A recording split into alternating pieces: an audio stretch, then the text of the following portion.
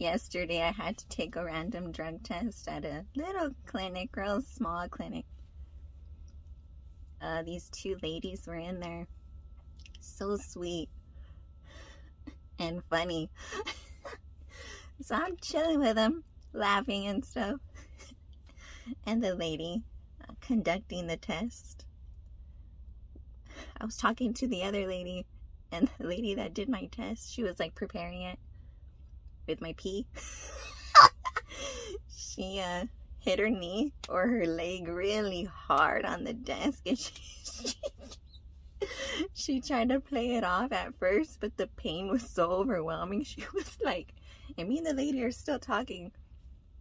She was all mm, oh we're still talking. Her it's not that I didn't want to acknowledge her pain. I just wanted didn't want to like embarrass her, you know. But so we were still talking. She's just in pain. She's all oh ah.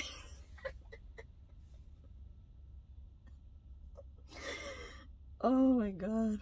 I don't have many friends, but I'm very blessed to come across some really amazing people. So that's how I enjoy friendship out here.